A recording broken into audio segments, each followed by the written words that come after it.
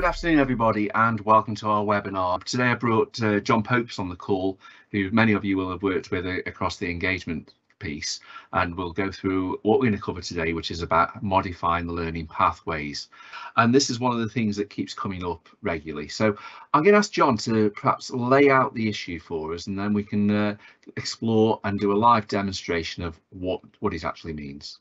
Awesome, thanks, uh, David, uh, and welcome everybody. Um, so, uh, Learning Pathways, um, really good product from Microsoft, um, but I think it's fair to say um, that it's worth just covering off uh, what it is. So the question is, the key question is, uh, we're asked is, we need training for our staff uh, using Microsoft 365. So you've got lots of options to choose from. Um, you've got Microsoft Online Training coming from the uh, shop stores. Uh, whilst the pandemic was on, their staff were were free, so we've offered those out. Um, you've got your delivery partners where you get your licenses from. So delivery partner for a bit of online training that they can provide. Um, of course, you've got YouTube. Um, however, what we are going to talk about is the learning pathways and, and what that does and how that can help so it's a key resource that you can add to your tenants from Microsoft. You can download it. Um, it contains training links to guides, videos, a range of links to help your staff get up and running with 365. Um, the key, the really key points are, um, it's a direct link to Microsoft. So as products are updated, um, you don't have to look at updating your uh, training, it's automatically done because it's this direct link to Microsoft resources. So it's always up to date. It's always got the latest information. So let's just talk about when you first activate the link, um, which I'm sure many of you, you have done, you get this standard page. Um, and this is one that uh, that I, I, I linked to uh, in a tenant.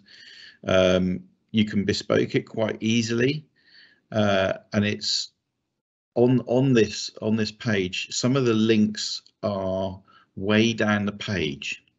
So what we wanted to talk about, um, and this has come up a couple of times with a couple of forces already, we just wanted to talk about how you can edit this page um, and just point out to everybody that you're not losing content. All the content is there. Um, and David's going to probably going to go is going to go through and show how easy that is. So with some work, you can go from the, the previous offering to something like the, the the the the site that David has done with the enabling center. Uh, it's very easy to navigate, very intuitive for for for staff in force to find out information about uh, how to use Microsoft 365. And most, most importantly, it gives you access to these tools, which uh, I'm just showing uh, on the uh, on the left hand side. So those are the key tools for using 365. So access to things like uh, Microsoft Teams, Sway, Yammer, Outlook, uh, OneDrive, to name but a few. Uh, and they will give your staff that that that information that they probably need to to get it working at virtually out of the box. So how do you do it? So what we're going to do is we're going to hopefully run you through that. Uh, uh, David refers to it as a demo gods, um, and hopefully they'll be uh, they'll be looking down us and uh, and helping uh, helping this process. Um, and we will give you some input as to how you can change from the sort of standard offering to something that you can bespoke for your forces, uh, for your learning development departments, um, and and really putting something for your staff to use. So, uh, David, I think it's going to be over to you. Yes. Fantastic. So we've had we started off with this some time ago uh, in terms of the experience of it, and we wanted to try and understand what we got out of the box. And uh, you know, many forces have already been using the learning pathways and they've even you know spent a little bit of money having it deployed to their force. And they get something quite which looks quite basic at times. So i'll just pop the screen up and i'll show you what what you get. Now this is a customized version where we had it little icons built that pointed through and this is what the enabling center is. And anybody who's got access to the enabling center can see this. And when you look at the construction here this is just the sharepoint page and then this bit here is an element of the learning pathways. And that was great uh, but then we wanted to have a look at it at what our staff experience was like. So we built this page here and it uh, was literally an afternoon not knowing what I was doing and I built this site in an afternoon. And what we want to do is share the skills on how to be able to customize and build user journeys for your staff. So very simple out of the box. You can see I've split it up into the basics, getting started with the stuff. I've added in Yammer communities as well, so you can make it interactive. I've built a menu down the side that isn't just about the learning pathways. It actually links out to our external website as well. So we're able to point it straight out to videos and content like this webinar we'll be on and back into the wider PDS hub so you get back into the SharePoint site as well. So you can really integrate it into your offer and make this available for everybody in the organization. And you can build break it all down. But what I thought I'd do is take it over to my demo section here and show you just how easy it is to start with the basics. And you can actually build learning pathways in about 30 seconds and you can be happy that you've done it. So what I've got here is a brand new page that we've built for learning pathways and I'm going to edit the page. And I've already popped in a couple of sections just for demo purposes uh, to make it easier in ways you become more and more familiar with um, SharePoint, you're able to do this. And what I'm going to do is add a web part. Now we've already activated, and this is where your tech support are needed. The uh, Microsoft administrator will need to make sure that that Learning Pathways has been switched on. And because I've used it recently, it's in my top, but all you've got to do is type in for learning, and it brings up the web part Learning Pathways. And if I drop that web part in there, home, click publish on the page, I have done it if I wanted to. And that's the out of the box solution. And every element of learning pathways is available here to navigate. So you click on this bit and it takes you to the learning pathways for those bit uh, about your first six, simple six steps to using 365. That's great. But how do you tell a user that they've got to click two, three clicks to get to that that element. Um, similarly, you scroll down and you go on to everything on Word. Well, I'm not sure every user will need all these basics for this, and they might be looking for something specific about using Word or Excel. How will they know to navigate down to that particular section, click that link? So what I'll do is just show you how customizable it is and the impact it has. Now, one key important point, point here is this is included in your license. You've got it. It's free of charge and all the content that sits behind it is constantly updated by Microsoft to make sure it's right. So it works with the tools as they are evolving. So first of all, I'm in the learning pathways and you'll see this cog on the right. You'll only ever need to use this once. That takes you into the admin for learning pathways and you can see here it's take me and it allows me as the as the page builder to work out which bits of functionality I want within the learning pathways to be available. And you can switch off certain elements. So at the moment in Outlook we've turned off the people and connections bit. Okay actually I'm going to want that available. So I've turned it on and it's as easy as that. So that now is available to every time we do an instance in the tenant I wanted that. So you can turn on all the functionality you want to or turn off things that aren't being used at the moment. So if you're not using uh, lists, for instance, which is be a mistake, you really want to use lists, uh, you could take that out of the learning pathways at that level. But what you really want to do is start building pages and customizing them. So I'm going to go to the edit the web part here with that little icon on the top of the box there. And this is where all the power is unlocked of it. So I want to build a page for all my new starters who are or people who are just adopting 365 for the first time. So I'm going to call it first steps. In the title in there, you can see I'm basically customizing the web part here. I'm telling it to work on the web part learning pathways and it's asking me for a title. So I want first steps. And what I actually want is the content from that. So once I've done that, then it's only good at the moment that would just pretty much rename that section as first steps and show everything still. This is where the power is in the filter. So filter none means that everything is available and they have to navigate through it. But what I can actually do is split that into several categories. So you've got categories, first of all, which are about getting started, products, scenarios, or none. So at the moment we're on none and everything's visible. If click getting started, it's automatically found basically, I think of it as a playlist of content that you might want to do about first days and recommended content. That's great. Okay, probably not what I want. Here's all the products. And okay, then so here's now it's only just showing all the products on that web part. Well, again, that's still quite high up. I can change the order of them by turning on custom sort. So if I want wanted one note to be at the front, I can do that. But that that's great. Scenarios is another one where you're talking about perhaps ways of working, and we'll come back to that one in a second. But what we're really probably going to be looking at is, is, get looking at subcategories. And that's where the power starts to really be unlocked.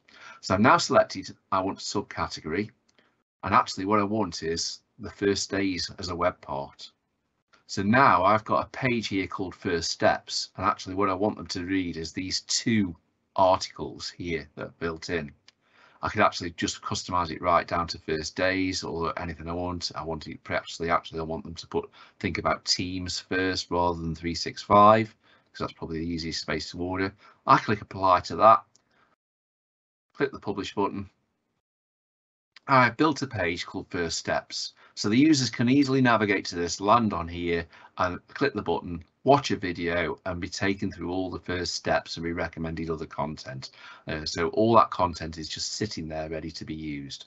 And you know, I can easily put that into a menu just by adding it into the menu quite quickly, really simple.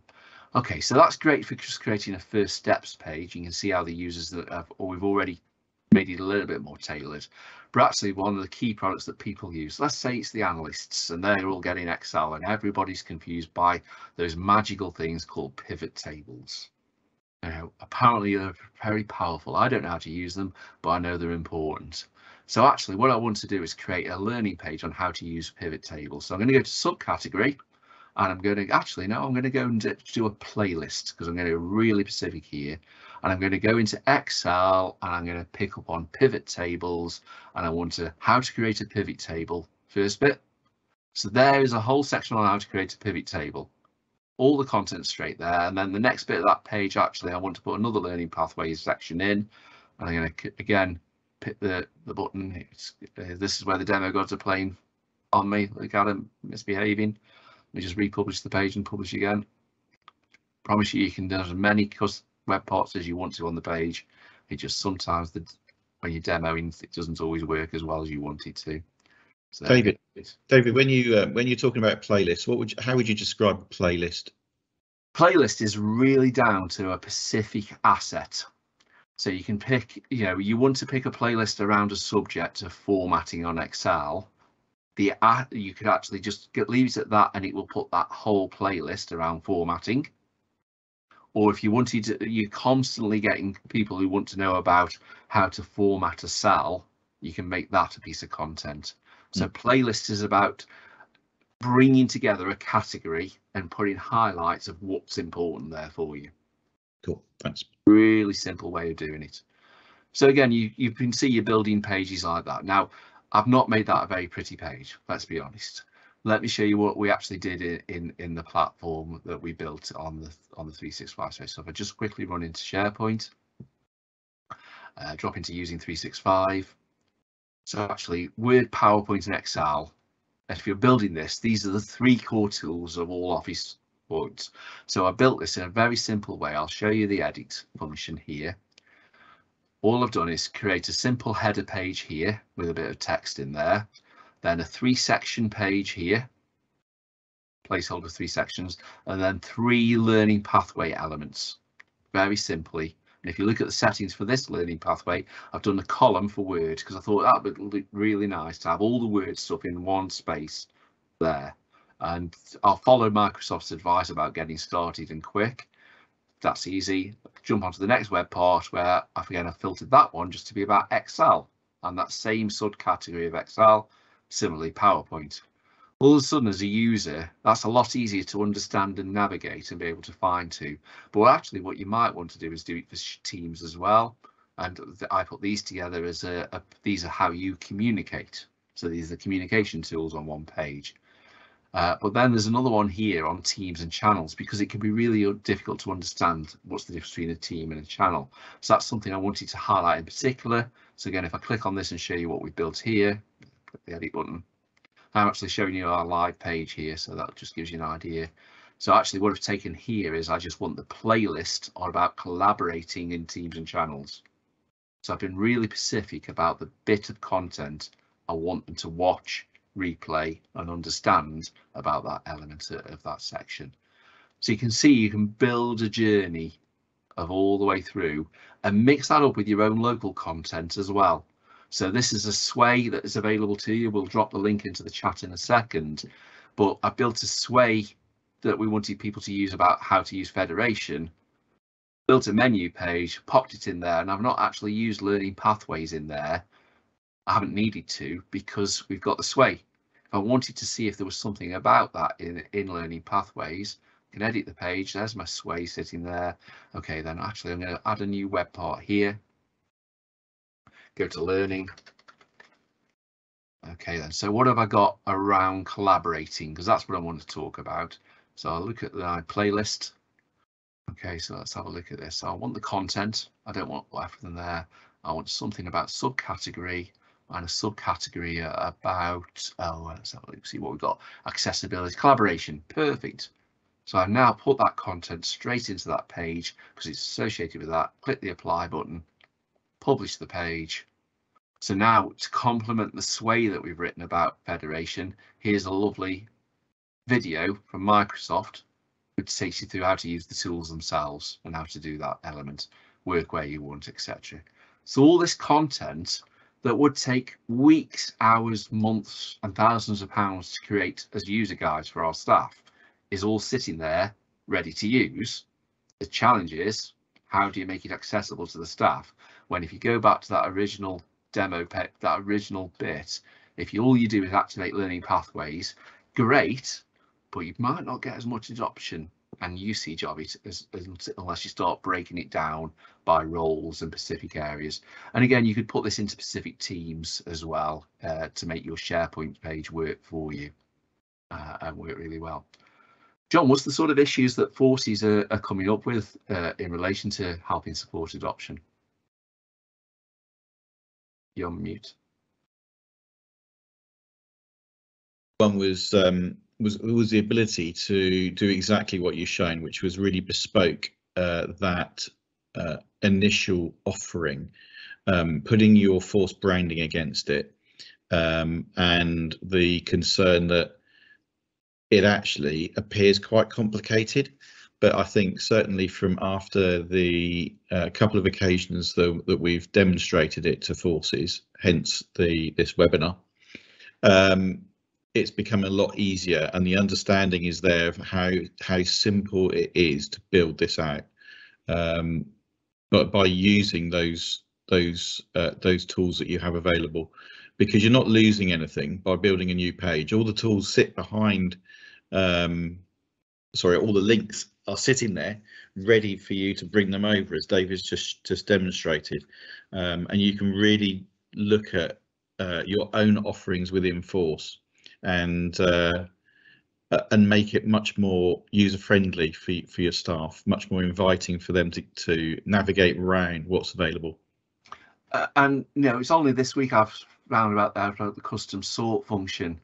That is really powerful when you want to particularly highlight things and react to issues. So again, you just get it when you get into here, you suddenly realise the capability. Now, you might say, why have you put everything together for for the, all the office tools? Um, why not just do a page for Word? Well, why not? That's fine.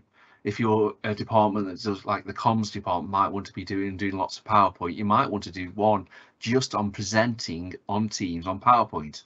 There'll be an element of learning pathways where you can say this is one of the skills that you need to do and here's all the learning pathways content to do it. So I literally just can create a copy of a page I've already done. Again, this just shows how simple it is. So I'm going to put this page to be presenting Teams. Okay, so that's a use case many of us will need to do. I'm going to get rid of this whole bit here with one delete, get rid of that. I uh, don't want this bit either, so I'll just click that button there. Put one section in there. I'm going to put a web part in there. That's easy enough. The button comes up, there it goes. Learning. And the reason I, I know I could click faster and get you there, I know the settings are on, everything's on that I need to be on. One thing I will say that you might look for that's not always there is the Power Platform guidance that you have to go and run to Microsoft courses for. Uh, and there's plenty of things online to learn that, but unfortunately, there isn't anything really on there around uh, being able to use the Power Platform guide. So here we go. Let's have a look. Guide to uh, let's have a look in my list. Collaboration. Yeah, might not quite collaboration. It's probably more down here in Teams. Where's Teams? There we go. Explore. Da, da, da. I'm sure it's in here there's a good one for colleagues setting up a live events. Uh, you know, I wish I'd known about that when I first did my first live event. Um, they're all in here. Pick out this little section you want. Here we go. PowerPoint. Uh, presenting slideshows. There we go. There's the content. Really specific elements about it. And which bit do I want to do? Actually, I want to rehearse and present uh, PowerPoints. There you go. All the content sitting there with all the advice you could ever need nice video to play, all the guides, and it recommends these other content to go to. So really simple way of doing that. See a question that's coming. Yeah, I was going to say, we just got a question. How do you get the left sidebar? Um, left, how do you get to the left sidebar to appear in Learning Pathways? Is it not there as a standard? It isn't because I've not actually built that bit in Learning Pathways. That's built in SharePoint. So Learning Pathways you'll basically, if you build, just build the basic learning pathways by simply just building up a new page. So just do it like that, put a blank page in and just make that a learning pathways page by adding the web part. You're not actually using SharePoint particularly there. That is what you get. So you don't get any navigation. Hold on, I need to give you a test. This is my little demo space uh, where I can safely break things. So you can see here I've created a, a page here for learning pathways. Actually now I can click one button and add that to the navigation. So that's starting that left hand side and it's created the navigation for it. But I then wanted to break that down as I have on those other pages. So I'll create a copy of this page. I want that one to become the word page. There we go. I edit the learning pathways bit and I tell it I just want the content on category, no, it's sub subcategory Word. There's my Word page. Apply that. Publish the page. Add the page to the navigation. There we go. Or you can do the, you can, there's a number of ways to edit the navigation. You see I built the navigation there and I put that in there. To where the navigation appears is in your SharePoint settings for that page. So you can change the look of the page. And again, you can move your navigation to be horizontal across the top, vertical down the side. You can use your mega menus, your cascading menus, depending on how you want to do that. So you're actually using the basic SharePoint functionality to create pages that you can navigate to rather than using the learning pathways as the navigation aid, if that helps with that question. And that's that's that's really a key point, isn't it, David? I think the the ability for uh, the ease, the ease of standing up is through using that SharePoint um, that SharePoint site plan. Absolutely. And, you know, you, you could start with no plan. I wouldn't recommend that. Have a little plan. What's your navigation going to look like? And again, if you want to edit the menu navigation, you can see you can edit it here. You can you can do some more audience targeting, but if I want to make that a sub page of something like that, make that sub link of there, movie top. You can create your navigation down the side or across the top really simply in the in the edit navigation function. So again, you, it's up to you to build this as almost as a micro site within your SharePoint environment.